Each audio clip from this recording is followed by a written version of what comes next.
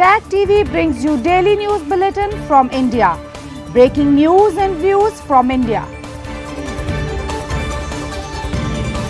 You're watching South Asia Newsline and have the top stories we are tracking for you on Monday, the 8th of April. Politics intensifies as BJP slams Congress manifesto. Pakistanis dismayed by soaring prices ahead of Eid. And Bangladesh opposition demands unconditional release of leaders.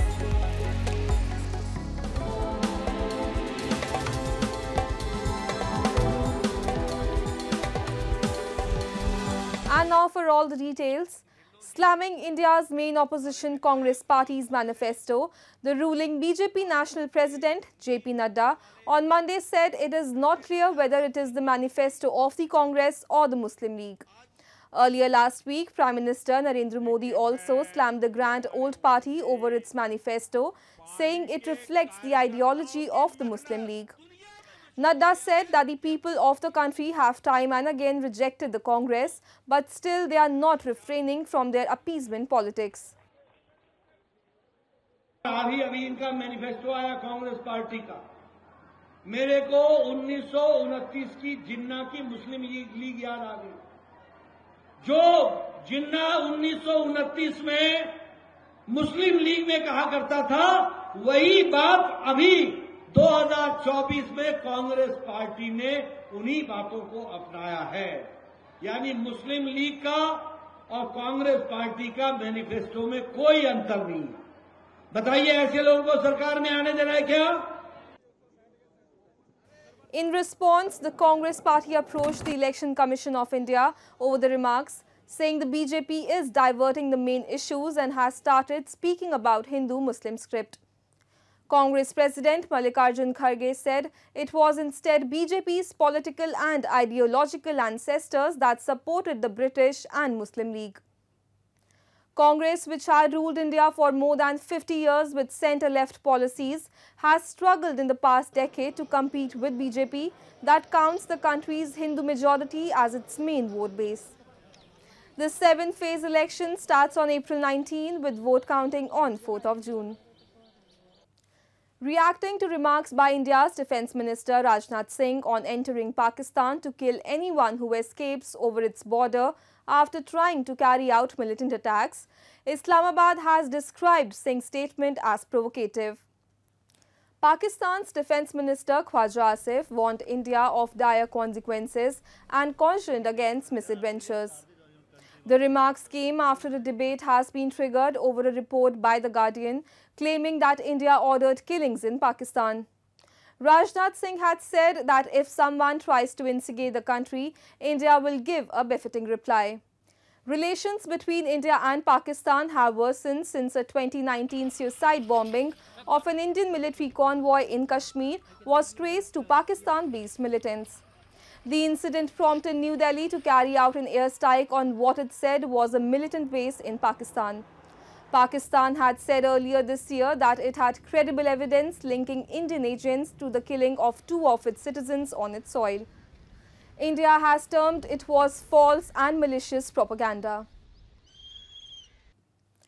Meanwhile, people across Pakistan are dismayed by soaring prices of all commodities ahead of Eid. Pakistan has been reeling under massive economic woes with inflation hitting a peak of 38%, a report. Ahead of Eid al-Fitr this week, shopping malls and traditional markets across Pakistan are bustling with customers. But both shoppers and vendors say that inflation is dampening enthusiasm for purchases. The last week of holy month of Ramadan normally sees a shopping frenzy with families thronging to markets in search of new clothes, jewelry and shoes that are usually considered Eid essentials for the three days of the festival in Pakistan. However, prices of goods appear to have doubled since around the same time last year. खरीदारी में तो इस time पे यानी बहुत समझ लें extreme level पे मुश्किल पेश आ रही हैं क्योंकि जो चीज़ समझ लें, पहले हम तीन सौ रुपये की ले रहे थे। वो इस टाइम पे आठ सौ, नौ सौ रुपये तक पहुँच गई यानी आपकी जो सकत है, उससे बहुत बार डबल से भी ट्रिपल रेट हो गए चीज़ों के। अब ये आप थैला देख रहे हैं, ये ये इतना सा थैला है। ये आप बिलीव करेंगे, ये पंद्रह हज़ार से ऊपर का है। ये इतना सा थैला है, ये बच्चों के कपड़े हैं खाली। तो ये महँगाई का हाल है इस टाइम पे। और अभी भी ये कंप्लीट नहीं है। ये हाल हो गया। Pakistan has faced significant inflation challenges, hitting a peak of 38% last May, partly influenced by tax measures to meet IMF requirements. The woes are set to rise with budget revision expected soon that will include more taxes and hike in electricity and gas prices. अभी तो कपड़े वगैरह खरीदे लेकिन महंगाई बहुत है बड़े ज़्यादा महंगे मिले कम करवा रहे थे लेकिन थोड़े से कम किए उन्होंने Eid al Fitr, which marks the end of Ramadan, is expected to fall on April 10th in Pakistan this year, though it may be delayed by a day due to the visibility of the moon.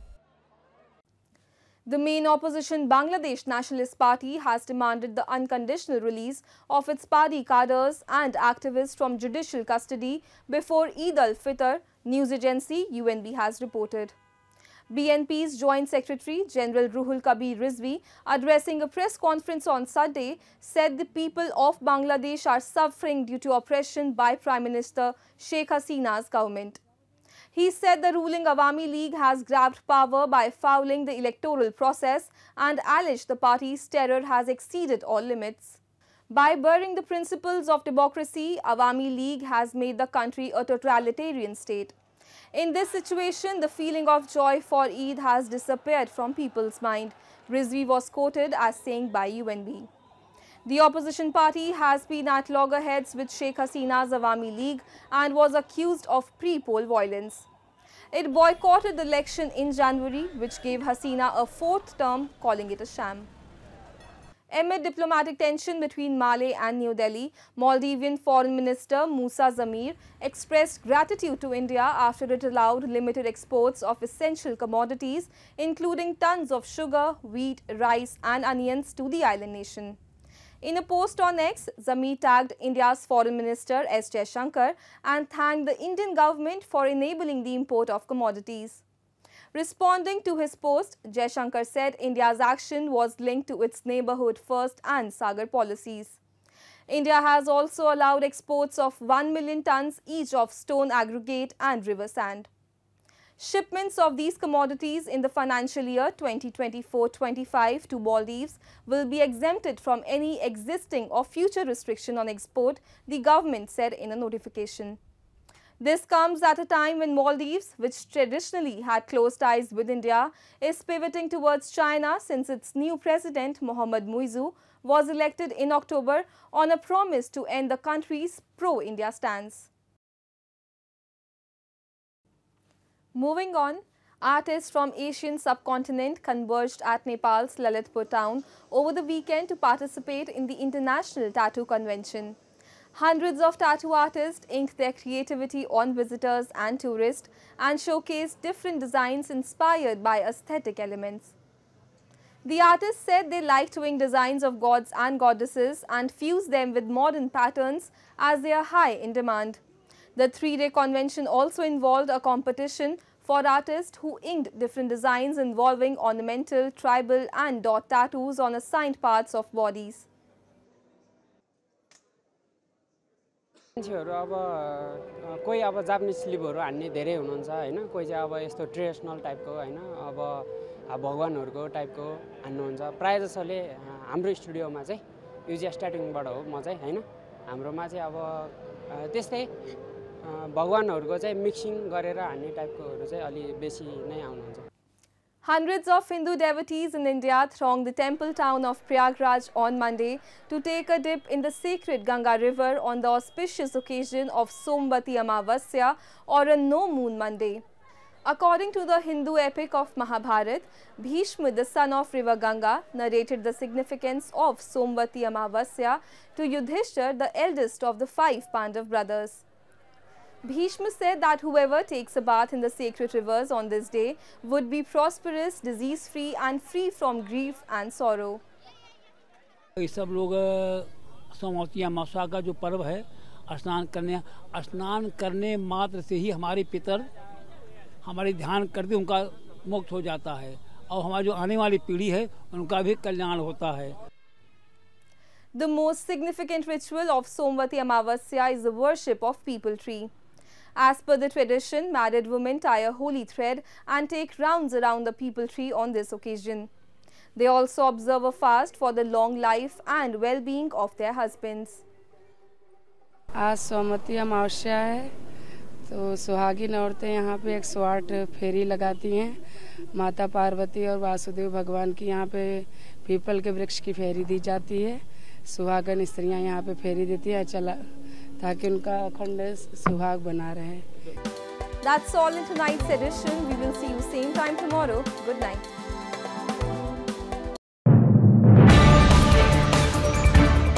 Tag TV brings you daily news bulletin from India. Breaking news and views from India.